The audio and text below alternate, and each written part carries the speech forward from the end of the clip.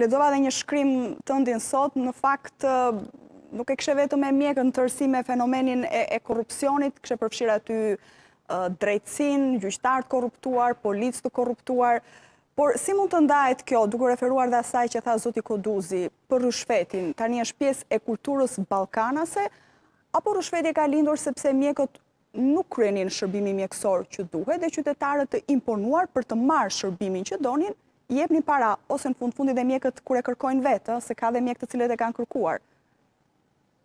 Dhe kjo është, dhe kjo është vërtetuar dhe nga, edhe nga kamerat e fshehta, nga emisionet investigative, kur mjekë kanë kërkuar para. Po dhe kur kërkon para mjeku nuk quhet bakshish më, se edhe ai quhet korrupsion. Tani ka korrupsion edhe me 100 euro dhe me një, edhe një mil, një milion euro.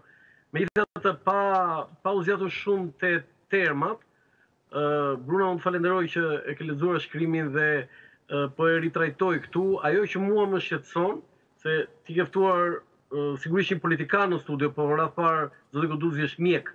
Dhe ne kemi një fakt në këto 32 vjet, numri i mjekëve të hetuar, të arrestuar, të dënuar është më i madhi se numri i çdo, po themi komunitet tjetër në administratën shtetërore më i madh se numri i politikanëve, më i madh se numri i drejtorëve të korruptuar, më i madh se numri i gjyqtarëve të korruptuar, më i madh po se përse ka ardhur kjo?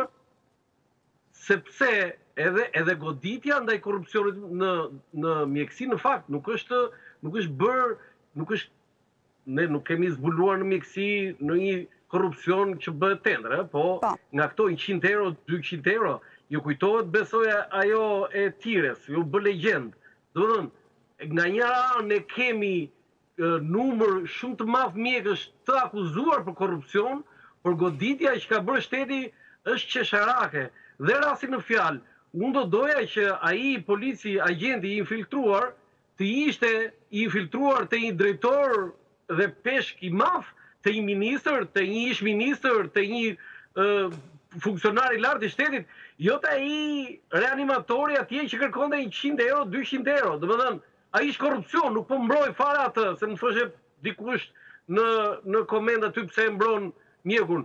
Jo mo jo, nuk e mbroj mjekun fare unë, dhe ata që më njohin mua nuk e nuk e mbroj mjekun unë.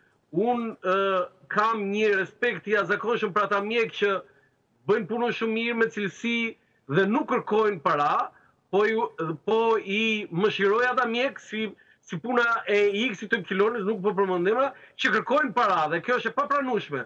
Por nuk e kam këtu, e kam te fenomeni. Ne sot drejtësia jonë e re, ë, do të thënë unë po. jam nga ata entuziastët e e, e sëmurë të të, të reformës së drejtësisë, më shqetëson shumë kjo që operacion shkruhet në komunikate. E lexove ti Bruna, ishte një operacion, po. ë, një operacion. A mund të quhet një operacion ky që i kapet një reanimatori njëqind euro dyqind euro? Jo më jo, unë do doja ai polici, ai agjenti të të ishte infiltruar atje me me çipa, me mjete moderne të sofistikuara teknologjike, të kishte kapur një drejtor, të kishte kapur një ministër, të kishte kapur një funksionar që po bënte një tender dhe po merrte një milion euro.